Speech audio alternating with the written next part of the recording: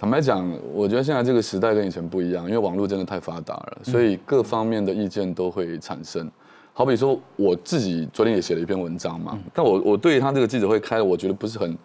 很能认同的点在于，比如说阿翔在第一时间接受访问的时候，他的那个态度，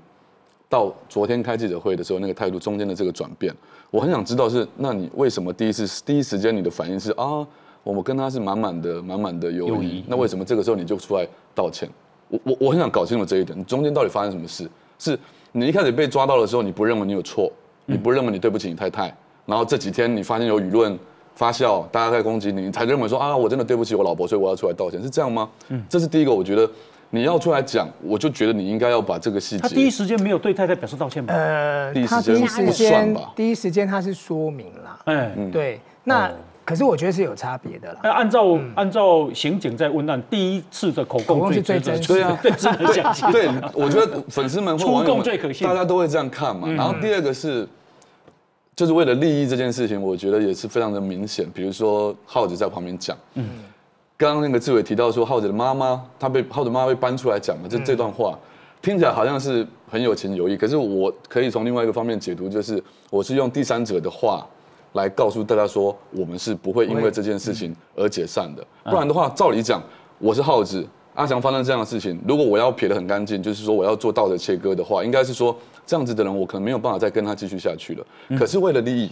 可是因为因为我们如果拆拆伙的话，我可能我们比如说代言也好，主持也好，活动也好，很多很多可能可以赚得到的部分，他就没了。嗯，那我我我不能讲我为了利益，所以我决定我不跟他拆伙嘛。嗯，这个时候我就说了啊，因为我妈妈。讲了这样的话，阿基玛好子，阿基玛讲了狼的伯后，嗯，是讲拜，你们都看人不起哦看人不起，你要对他好一点。嗯，那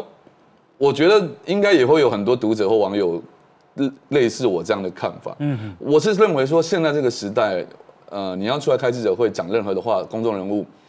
你要么你就是很诚实的讲你觉得真正的真相都讲出来这。事儿哪能诚实啊？我不知道哎、我不知道，我我觉得我觉得这个时代真的有人诚不太一实啊样。，发生这样事情是有人诚实谁过谁诚实过？九把刀那时候非常诚实。哦哦，他爱那个新他说的那个他他说就道义上他是要爱他的女朋友，但他内心是爱新的啊，就是当老婆是旧的啊，但他内心是爱这个新的啊，所以最后他是跟新的在一起。对对对。那 H，那如果是你，你会怎么？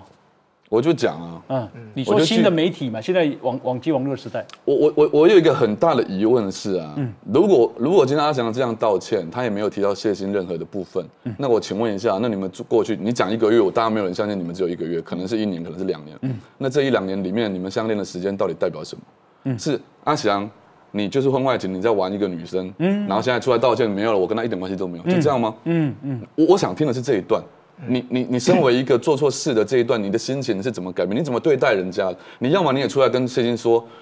我有家庭了，我真的对不起他，我不应该出来。你不要讲玩弄，或者说不小心我们陷入了这段感情。我觉得你要带到这个部分，要不然，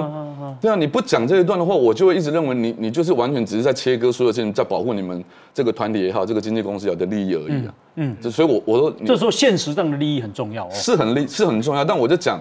因为这个时代，我认为不是那么单纯的。你不是你讲了什么，大家就觉得一定我我 OK 了哦就接受了过过就因为网络上会流嘛，然后大家会讨论嘛，会发酵嘛，所以你你是不是最好？而且我们今天今天是礼拜三嘛，对，搞不好你再过几天，他又有更多什么别的事情被爆出来所以我就认为说，最好的做法就是你就是干脆把所有的情况都讲出来。今天是谢欣没有出来讲话哦，对，如果今天谢欣不小心他哪根筋，因为他会在家里面看记者会。对他如果想一想，他觉得 我为什么要我为什么要囤论这么多？我出来讲些什么就好了。嗯，这事情就没完没了了。嗯哼，那那你现在是阿翔这次出来讲这个记者会的内容，我就觉得，谢欣应该也不用讲，先丢几张照片。真的，我没骗你啊对，。我是不希望那是很有杀伤力我知道，我知道，我是嗯。